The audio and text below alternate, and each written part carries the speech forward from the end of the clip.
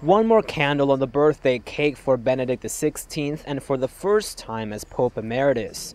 He celebrates his 86th birthday in the intimacy of Castel Gandolfo.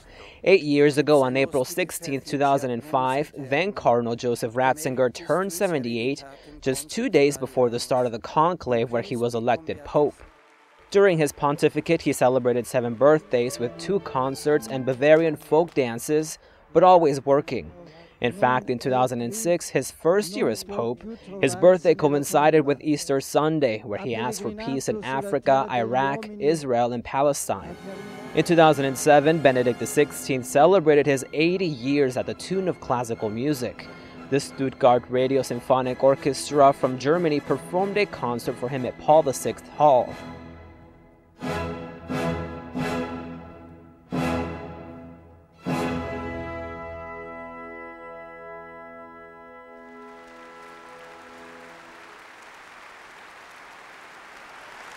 Al termine di questo stupendo concerto, di cui l'Orchestra Sinfonica della Radio e Televisione di Stoccarda ci ha fatto dono elevando i nostri animi, desidero anzitutto salutare tutti voi con viva cordialità.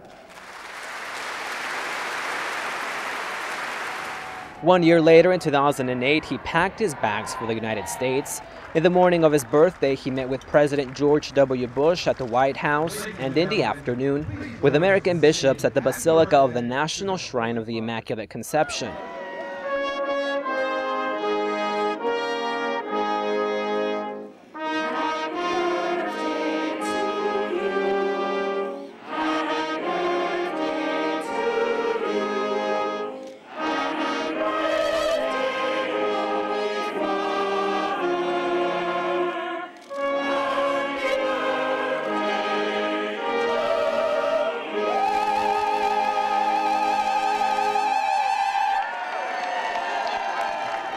In 2009, Benedict XVI was able to celebrate with family.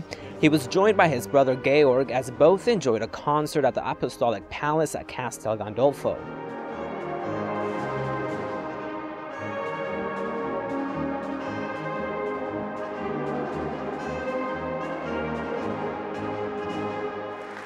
But no birthday celebration is complete without cake.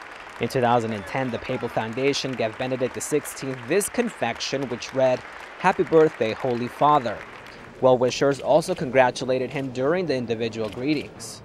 Thank you. Happy birthday. That moment was immortalized by this group photo. Before traveling to the United Kingdom in September 2011, British Catholic bishops created a Facebook page and email where anyone could send well wishes to the Pope for his 84th birthday. His last celebration as Pope was in 2012, and it came with a German touch. Once again joined by his brother Georg, the two enjoyed traditional folk dances from his native Bavaria.